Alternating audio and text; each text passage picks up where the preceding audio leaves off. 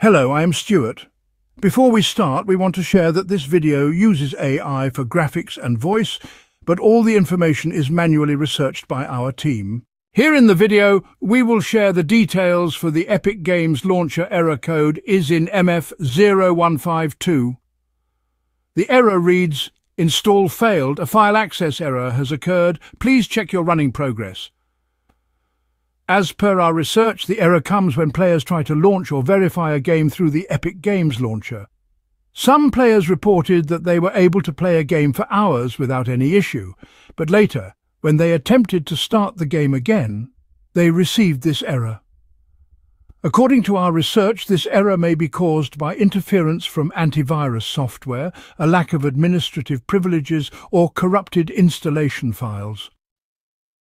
The first thing you should try is to temporarily disable your antivirus software. Sometimes security programs interfere with game files, causing this error. Disable your antivirus and then try launching or verifying the game again. If the error persists, try running the Epic Games launcher as an administrator. To do this, right-click on the Epic Games launcher icon and select Run as Administrator. This can help if the issue is caused by permission restrictions. If the error still comes, try reinstalling the Epic Games launcher. First, delete all the game files, then uninstall the launcher completely. Then, restart your PC and reinstall the launcher, and then run it as an administrator. Once done, re-download the game and check if the issue is resolved. If the error still comes, then make sure your gaming device is up to date. If your system is running an outdated version, it might cause compatibility issues.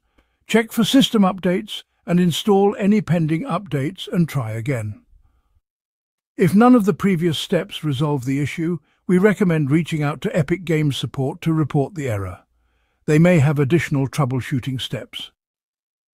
Thanks for watching. This is all we have for the error. If this video helped, don't forget to like, share and subscribe. Have any questions or issues? Drop them in the comments below. See you in the next one.